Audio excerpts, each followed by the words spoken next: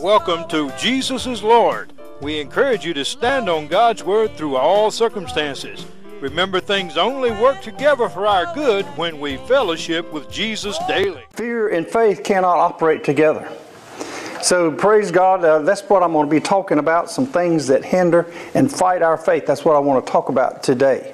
I believe the faith message, we have to always go back and renew what we're, what our, what we're taught to the first beginnings. We have to go back to it.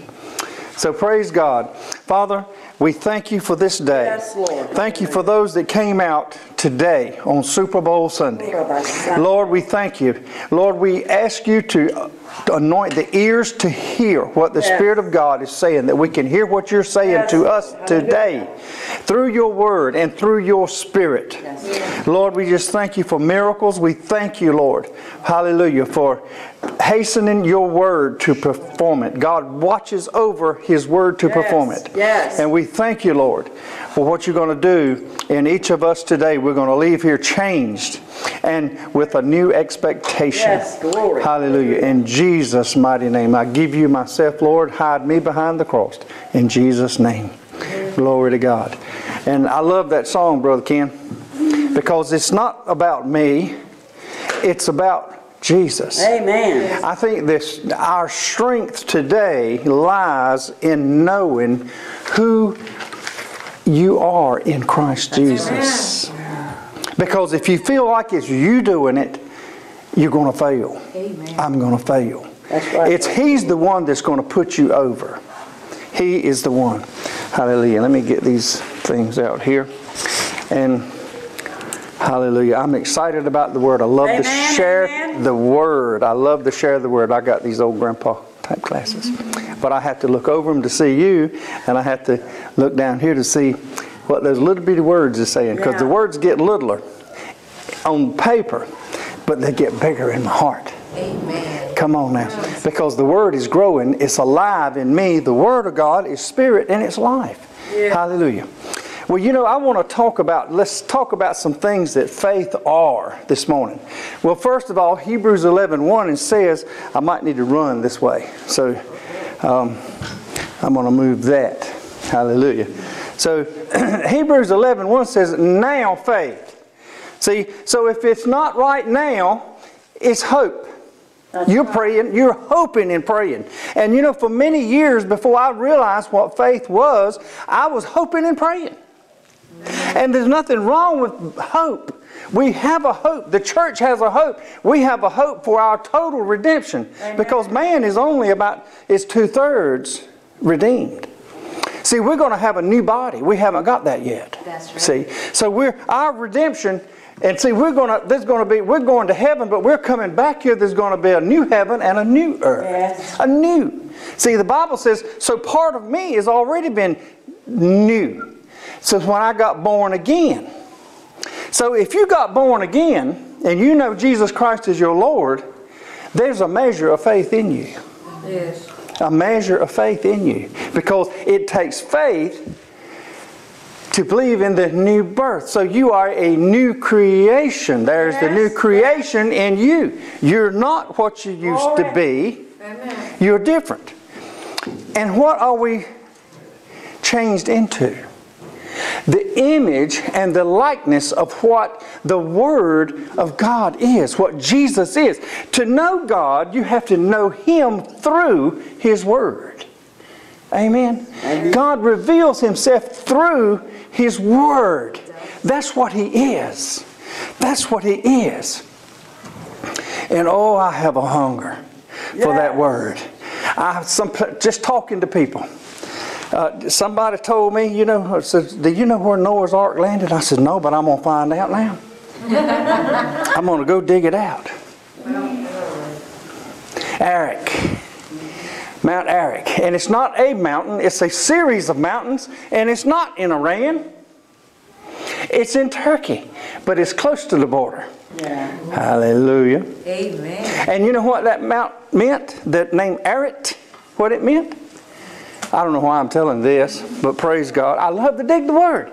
But it says, the curse is broken. Thank you, Jesus. That's where the ark landed. Now, you know what? I can preach on that. I can preach on that one. What Jesus done, what? The curse has been broken. That's right. Amen. It's been broken over our life. We don't have to receive those curses because many of us have got yokes and bondage and things on our yes. on our life and our families and on our shoulders that we should not have. That Jesus has already taken them. Amen. He's already taken them upon himself. so I have to receive the promises. Amen. There's thousands of promises in this word. And they're for each and every one of us. But you know what? You have got to take each one by faith. There's a certain amount of risk that you and I are going to have to take when we step out in faith. A lot of things. Uh, God said, I felt the, lead, the, the leading of the Lord to start a church, to, to be a pastor. I said, But Lord, I've never been a pastor. Well, He's going to ask you to do something that you can't, Amen. Amen. that you can't do. And I knew I couldn't do it. I said, Lord, that, that's a big task to be a pastor. Lord, that's a big task to stand up and preach the word. Lord, I, I was a Sunday school teacher, but I thought that was all that he was doing. But I'm telling you, God is preparing something bigger, something bigger for you down the road. He's got something bigger for you. Hallelujah. And it, it's, we all preach the word. We all call to share what Jesus has done for us. He didn't say just the preachers. He's called all of us. Hallelujah. So uh, hope is wonderful. Hope is wonderful.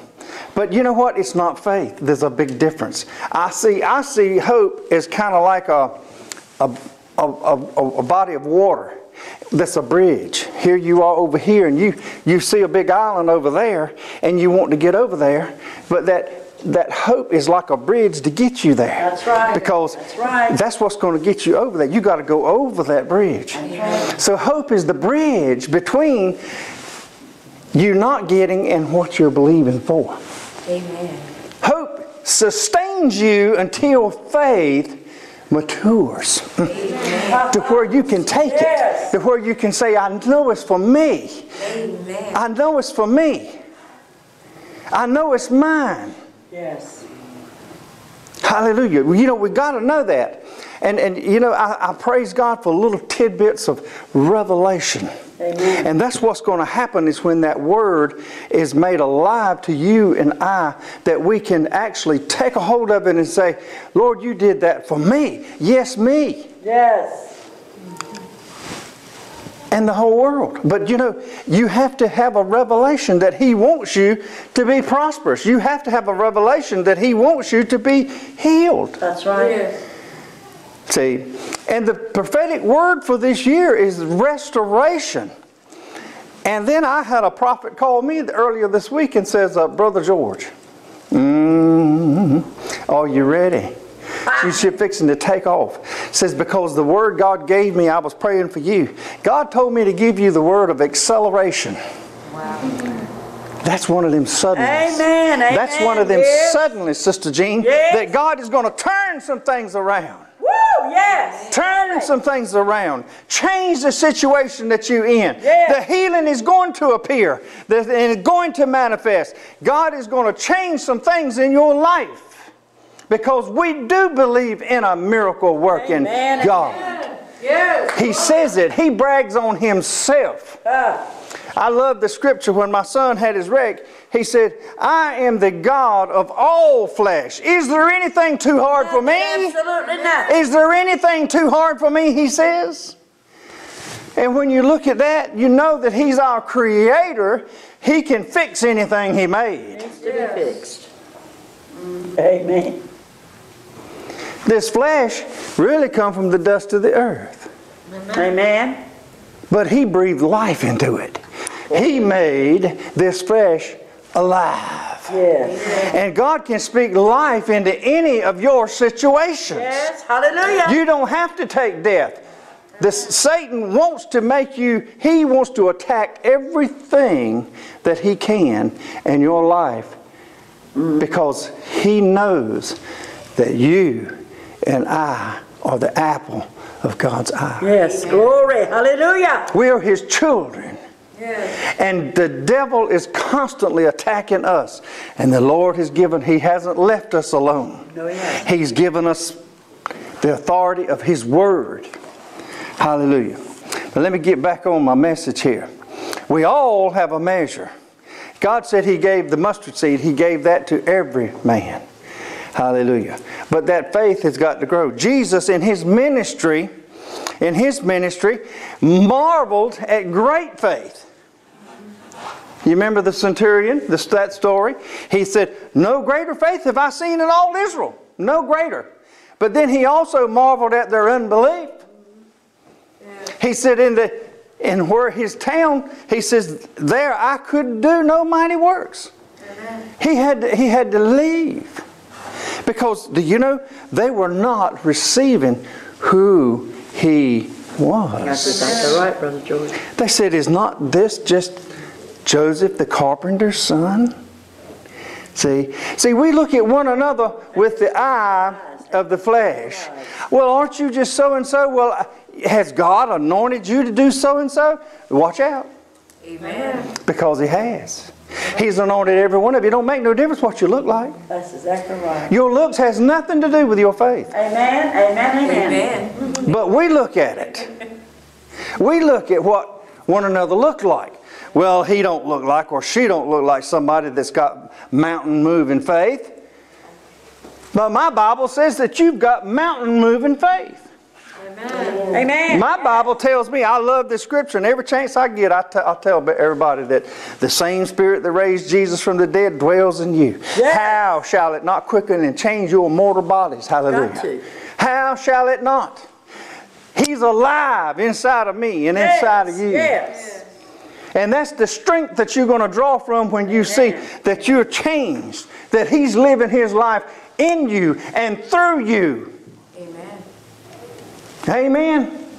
Glory to God. It feels good to preach. Amen. Hallelujah. I love that anointing. Glory to God. Romans 10 17. So faith cometh by hearing. So, you know, so it takes my ears to get faith. That's right. you ever thought about that? Faith comes by hearing and hearing and hearing. You got to keep on. So your mouth has got to be speaking some things. See? That's Romans 10 17. Romans 1, 1 and 16 and 17. The just shall live by faith. So that's our walk, folks. God says you've got to live by faith. They that worship God must know that He is God and that He is the rewarder of those that diligently seek Him. So I'm seeking Him today, knowing that He has put faith in me, knowing that He is within me, knowing that He is never going to leave me. He is never going to leave me. Amen?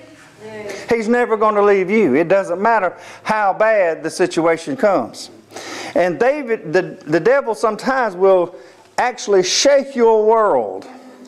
Things that's going on in your family, we'll talk about that too in a few minutes. But praise God. Um, there's a lot of things that fight our faith.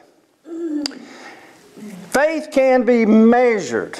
It can grow because out of the abundance of the heart, the heart. Faith is in the heart, not the head. Out of the abundance of the heart, what? The mouth speaketh. So I can be around people in a few minutes and tell you what's in their heart.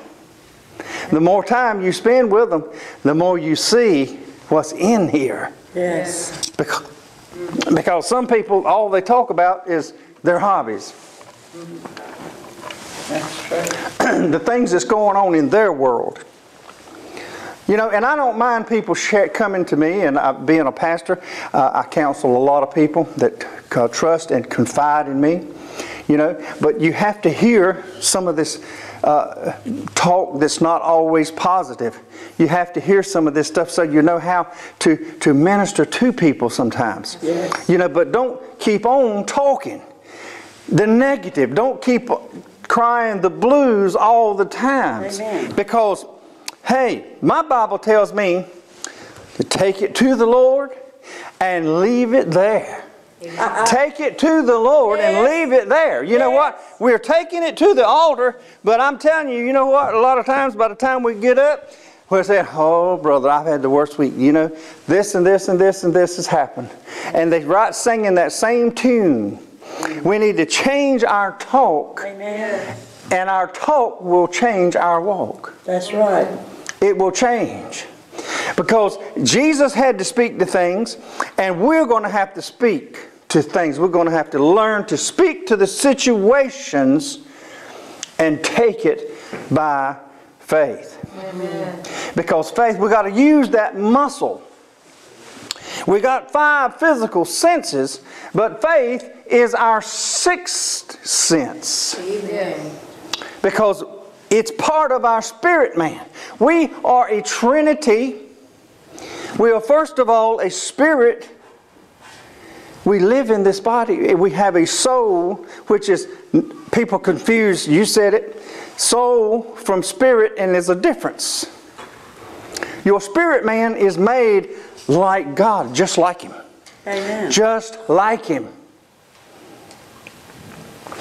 Your, your soulish area is your mind, will, and emotions, and God gave everybody mo- emotions. Mm-hmm. But I'm going to say something. I've got a pastor friend, David Tripp, and uh, and Donna, and she is a wonderful woman. I love that woman, and uh, she and I talk, and she's she's got a, a spirit to encourage everybody, and she's always got a revelation. George, can I tell you this? So she told me recently. She said, George, the Lord showed me that um, I own my emotions. I believe that. I own my emotions. And I said, Well, let me think on that a minute. Yeah, God gave me emotions. But you know what? I can't let my emotions run wild with me. That's right. It, because you know what? That's going to that's going to hinder that's going to hinder my faith. Doubt, fear, and unbelief are the our enemies. And the more you think on those things, the more you're going to embrace that unbelief. And you know, the Lord said some things. Let's see. Oh, let's see, where was yeah, Hebrews 3 uh, and 12 says, Take heed, brethren, lest there be in any of you an evil heart of unbelief, and then departing from the faith. That's what Jesus said. Well, it's out of Hebrews. But this is what really he's saying about our faith and our unbelief. Our unbelief is evil. Amen. Yes. I told somebody after my son had a wreck, they said, Brother, I don't know how you do it. I said, I don't either. I said, It's a God thing. That's right. I said, He gives me strength every day, Every day. every day to help me through it. You know, I said, But God is, is with me. See, He's not left me. And he's got an expected end. We got to, folks, we got to realize that whatever you're going through, and I'm preaching to me too, that God has got an expected end of every situation. Yes, he has. He's already got it worked out. Already got it worked out. Amen. Hallelujah. Yes. So I have to believe that God is going to bring me through. And God is going to bring you through. Through it. He can take you out of it, but He will bring you through it. Amen? Hallelujah. So I want to feed my faith and I want my faith to grow. So I've got to learn how to, to, uh, to do that. And it's, I've got to, so the Bible says that I'm supposed to think on whatsoever things are pure and whatsoever things are good. See, and I got to cast down every imagination that exalts itself against the Word of God because you know what? I, everybody has got an imagination. So true. I mean, if you don't think so, say, uh, you know, I've been dreaming about a new house. Said, good gracious, I've been going through house plans. And I says, boy, you wouldn't believe the things that's going through my mind. You know, I love to watch Animal um, Animal Kingdom uh, there, and it shows where they do the tree house. This guy that builds these tree houses. It's some of the most amazing stories behind and the techniques that he does, and they're all different. They all look different. And I said, this is this is just amazing out of somebody's imagination that they can do that. You know, our imaginations can go wild, but you know what? David had a dream. He was a dreamer. And if you're a dreamer, you can have your dream. Amen. God says you can have your dream, but you've got to keep that dream before you. You've got to see your dream. God has called me and you to many things, but they're going to fall by the wayside unless we continue to keep our dream in front of us. Amen. Amen. We've all got things we want to do in life. What is your goal? I tell you, the older I get, the more my dreams change. Because the more I see that I need to really love people and to be more like Jesus is to be more concerned with the ministry, to be more concerned. It's not about what I gain and about material things. Life is not about material things. We're not taking anything with us, folks. That's exactly right. Not anything. You know, it's okay to have things, but things are go- not going to have me. Mm-hmm. Now, there, there's a difference there. Hallelujah. I'm going to leave this right here. Uh, doubt, fear, and unbelief is against our faith and going to fight us. And I want to bring up a story that's in the book of Genesis, and it's uh, in chapter 27. And uh, we're going to talk about, you know, a man named Isaac. And I'm going to tie it in with what I've been talking about. Isaac was he was growing old, and he wanted to. He had two sons. He had uh, uh, Jacob and and Esau, and he wanted to. Uh, he was getting old, and he he was planning his uh, his death. He knew that it was getting ready for him to pass, and so he had he had uh, called and sent for Esau, which was his oldest son, and they wanted him to fix some venison. But, you know, I'm going to just stop right here and insert. How many has ever had anything stolen from you? Well, I'm telling you, the devil has stole. He's your adversary. That's right. And my adversary. And he stole from us all of our life. The devil has stole from me. The devil has stole from you. But God's promises says that I'll bring it back and I'll bring it back sevenfold. Not two times fold, but I'll bring it back sevenfold. Sevenfold. But you got to believe that. Do you believe that? Yes. Well, you know, we need to shout on the word because that's the word of God. That's not the word, that's not my word. That's the word that He says. And His word is forever settled in heaven and it's established, Amen. it's fixed. God will perform His word. I don't care what you're seeking or what you're needing Oh, glory. needing from, from him today. Hallelujah. So Isaac was getting old, and he had sent for Esau, and he told him that he wanted to fix him some stew, some venison stew. And then um, all of a sudden, his wife Rebecca heard the story, and she was uh, she was tending to lean toward Jacob, which was the younger son. Younger son. And, and he was not a hairy person. Esau was kind of a hairy fellow there, and you know I'm just going to try to tell it because it's too much there to read. So you know uh, they, she heard it, and so she told him, and they plotted against Isaac. And you know what? Sometimes this is what the devil will use in families. That's exactly right. They will show favoritism in children. Amen. You can't do it. It brings a curse. Yes, it does. brother. See, as a matter of fact, even even uh, when uh, Rebecca told jo- jo- Jacob about this, he, she says, she says, he said, "Well, Mama, we'll, I'll be blessed. I will be cursed from this, not blessed." She said, "Well, let the let the curse come upon me." Isn't that something? See, sometimes you don't realize what we're doing. See, we're not we don't realize what we're doing in life. But anyway, she went on and uh, and and and uh, they carried through their plan. And so um, when Esau came back, to Jacob, I mean to uh, Isaac, he realized, they both realized, father and son realized that they had been deceived. You know, the name Jacob means deceiver. His name means deceiver. See, not only did he deceive the birthright that he had because he was the firstborn and supposed to take the blessings of the father that was spoken over him and passed on, but he stole his blessings too. He hit him double. He took from him. See? Hallelujah. Oh, this is going to get good. It's going to get good. Hallelujah. So, you know, they had planned, they went through it. We saw that Jacob and the, the, he stole the two blessings and when esau and isaac knew that the lord had deceived him esau came and he cried before his father and he said he said bless me father. Bless me. Do you have a blessing for me? Well you know what? The blessing is not reversible. When he left and he said that you will serve your brother and all these blessings will come upon him for the rest of his life and he would live by the sword, he could not reverse that. Amen. He couldn't reverse it.